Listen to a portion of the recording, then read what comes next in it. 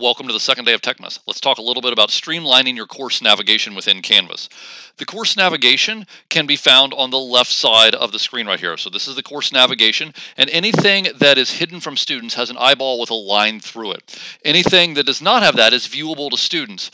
This is a very common point of misunderstanding for those who are new to Canvas. For example, many people will leave assignments turned on thinking that students have to have that in order to get assignments. That is not correct if you are directing all of your content through modules, which is always considered a best practice within Canvas.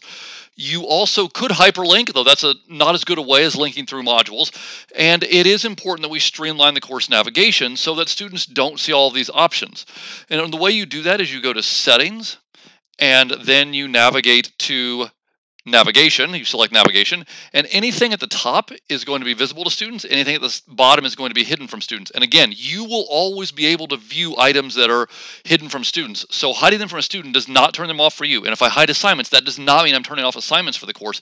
It just means I'm making it so that students can't access those assignments without me telling them to through a module or through a hyperlink.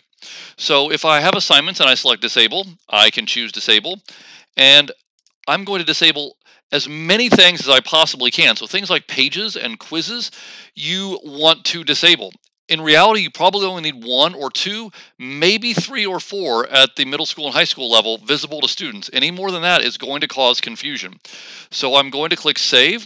And to check what this looks like, I'm going to go into Student View. And so if I go to Student View, I now see what a student sees. And notice they see only home, they see only modules.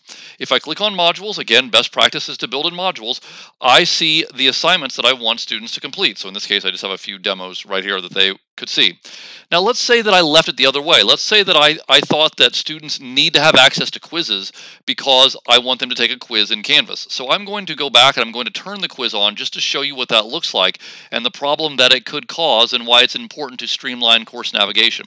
So I'm going to enable that option. I'm going to save that and I'm going to go back to student view. So now let's say that I have a module I want students to complete and they need to complete that module for whatever time frame, say a week. So these are the four things that I want them to complete during the course of a week. Well, if I have quizzes open, thinking they need to take a quiz, well, now a student can click here and they can see all the quizzes in the course. So they could, if you don't have a due date established, or an available from or available until date, then they can just click on the quiz and they can take that quiz, even if it's one from a long time ago or if it's one from the future. So that is the importance of streamlining, streamlining, excuse me, course navigation. And hopefully by doing this, it will make your life easier so that you get fewer questions, you get fewer students in the wrong spot, and you're able to direct students exactly where you want them to go. So Streamline your course navigation, turn on Student View, and take a screenshot of what you have chosen to include as your two primary options.